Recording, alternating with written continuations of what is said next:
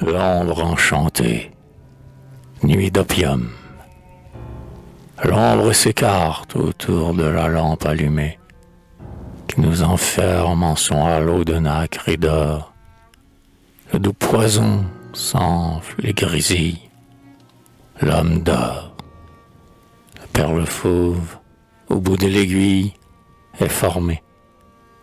Parmi les entrelacs flottants de la fumée, c'est à peine si ma chère ville existe encore. Mais l'oiseau rêve, sans le vent d'un molle essor.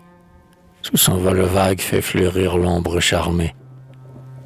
S'éteignent, peu à peu, les pas et les rumeurs, de la rue et les yeux vacillants des fumeurs, autour de l'apparent trépas l'ombre est vivante. Et loin du triste corps gisant, oiseau de feu, l'esprit s'est envolé d'une aile triomphante pour planer dans l'éther infini, comme un dieu.